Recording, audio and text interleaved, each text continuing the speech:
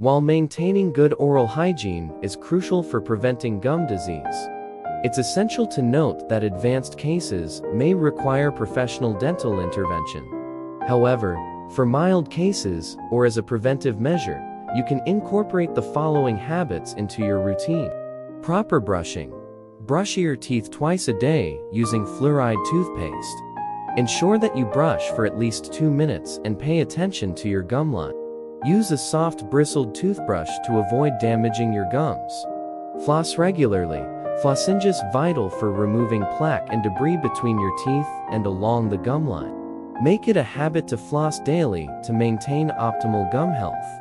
Antiseptic mouthwash. Rinse your mouth with an antiseptic or antimicrobial mouthwash. This can help reduce bacteria and plaque in your mouth, promoting healthier gums. Saltwater rinse. Gargling with warm salt water can help soothe inflamed gums. Mix a teaspoon of salt in a glass of warm water and rinse your mouth with it after brushing. Oil pulling. Oil pulling involves swishing a small amount of coconut oil or sesame oil in your mouth for about 15-20 minutes. This ancient practice is believed to help reduce harmful bacteria in the mouth. Green tea. Green tea contains antioxidants that may help fight inflammation and bacteria in the mouth. Consider incorporating green tea into your routine for added oral health benefits. Vitamin C rich diet. Consume foods rich in vitamin C, as this vitamin is essential for gum health. Citrus fruits, strawberries, and leafy greens are good sources.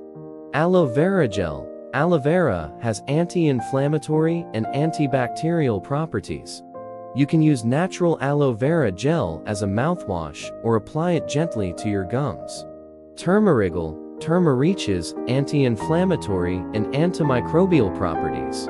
You can create a paste with turmeric and water and gently massage it into your gums. Avoid tobacco. Smoking and using tobacco products increase the risk of gum disease. Quitting or avoiding these habits can significantly improve your oral health. It's crucial to monitor your gums for any signs of improvement and to consult with the dentist if you notice persistent issues or worsening symptoms. Professional dental care is often necessary for treating advanced gum disease. Please like and subscribe.